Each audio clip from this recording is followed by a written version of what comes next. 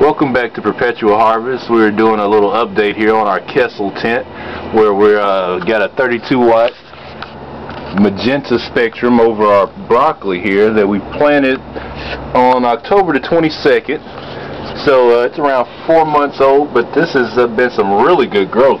We actually have four uh, broccolis in here, and they all turned out about the same way. But as you can see, they were competing for light. This tent, I mean, this one plant is taking up the whole tent and it is looking very nice, really tight internode spacing.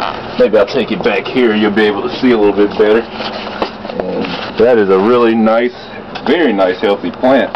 And for just 32 watts of light, that is that is unbeatable. I mean, look at the health, look at the fat leaves.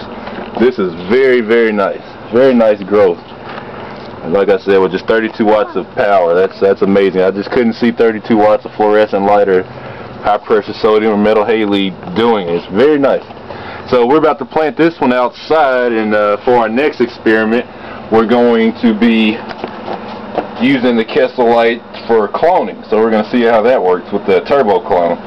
So um, yeah, that's that's her, the little clear display. We're going to set her up and uh, see how she works. And thanks for coming again, checking out our gardening and all our experiments at Perpetual Harvest, and we'll be back soon. Thanks a bunch.